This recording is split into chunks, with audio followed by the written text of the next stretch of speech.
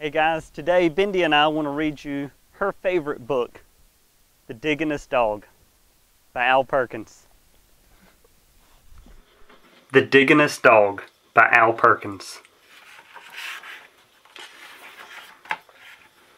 I was the saddest dog you could ever see, sad because no one wanted me.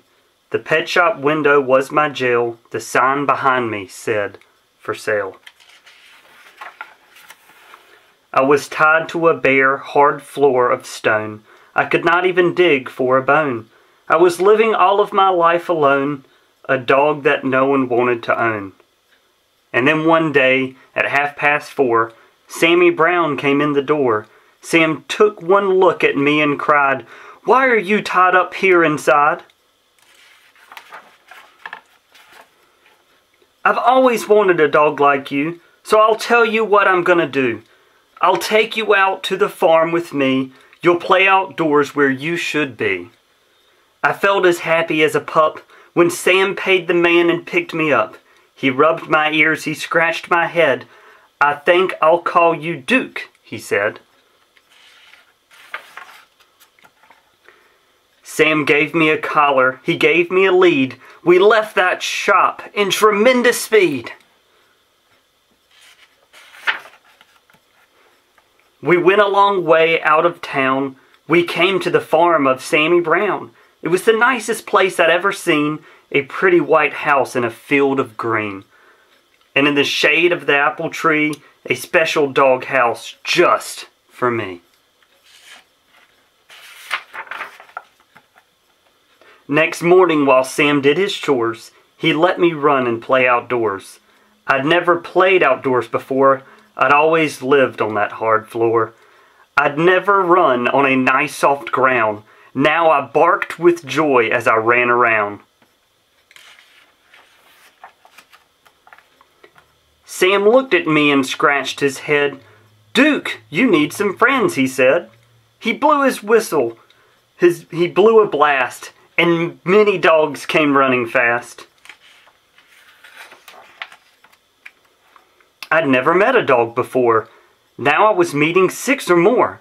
They walked around and looked at me. They looked me over carefully. Then at last I heard them say, He's one of us. He'll be okay. One dog who wasn't very big suddenly began to dig. The others started digging too, but that was something I could not do. I'd never learned to dig in that store. How could I on that hard stone floor? I tried to dig, but alas, I couldn't. I wiggled my paws, my paws just wouldn't. I fell on my ear, I fell on my face, I fell on myself all over the place. The others said, Duke may be big, but he's no good, he cannot dig. They stuck their noses in the air. They walked away. They left me there.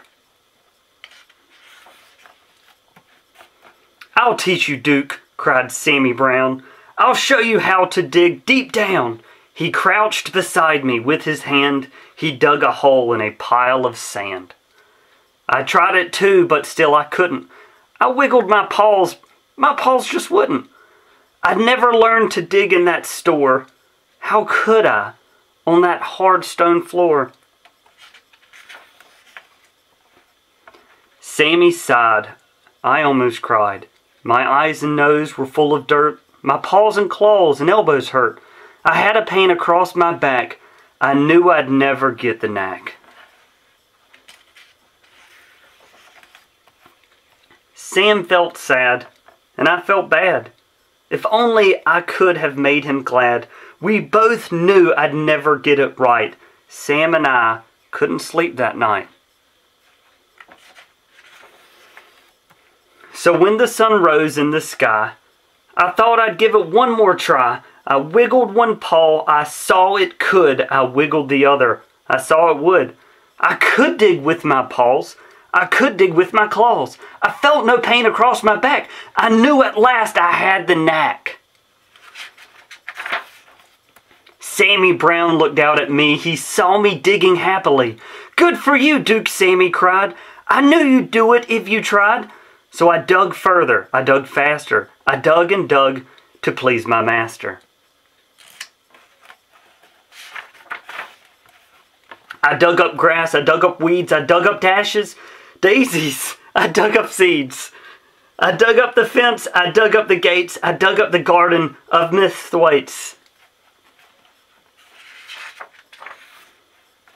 I dug up the rooster, I dug up the hens, I dug up the sheep and pigs in their pens.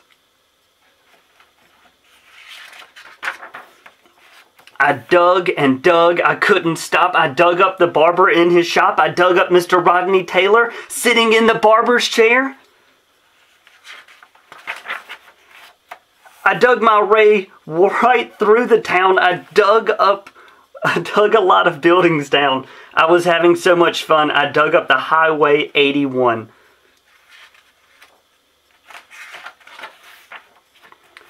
I came to a hill, I dug to the top. But all of a sudden, I had to stop. Right in front of me, looking down, there stood my master, Sammy Brown.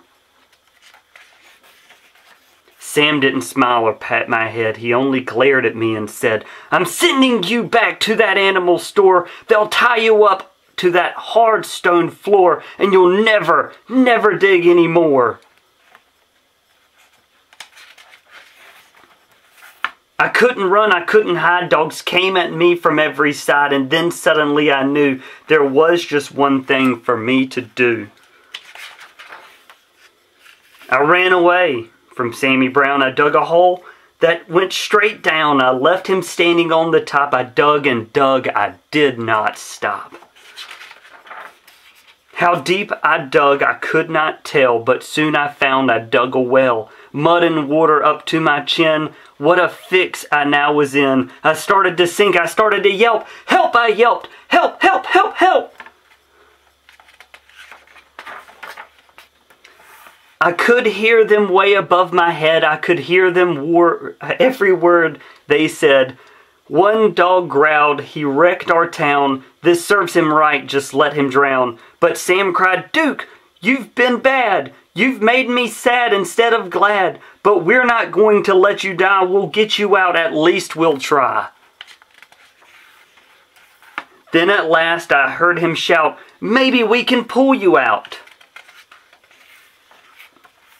Slowly, slowly down they came, each dog part of a long dog chain. I reached up, I touched a nose, I felt them lift me by my toes. Slowly, slowly, bit by bit, they dragged me up and out of that pit.